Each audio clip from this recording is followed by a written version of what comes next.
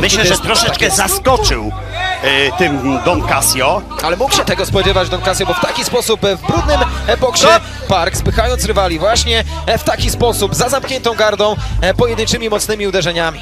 Wam, że w boksie nigdy raczej nie spotkał się z zawodnikiem tego typu.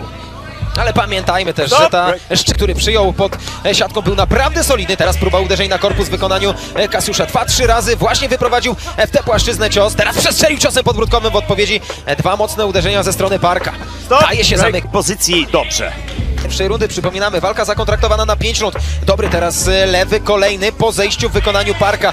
Dobrze wykorzystuje odwrotną pozycję, właśnie korzystając z mocniejszej lewej ręki. Ależ teraz Oj, prawy w piękny, odpowiedź. tak, prawy prosty. Cały czas na presji Norman Park odbierający przestrzeń Kasuszowi, ale Oj. teraz wymiana ciosów pod siatką. Oj,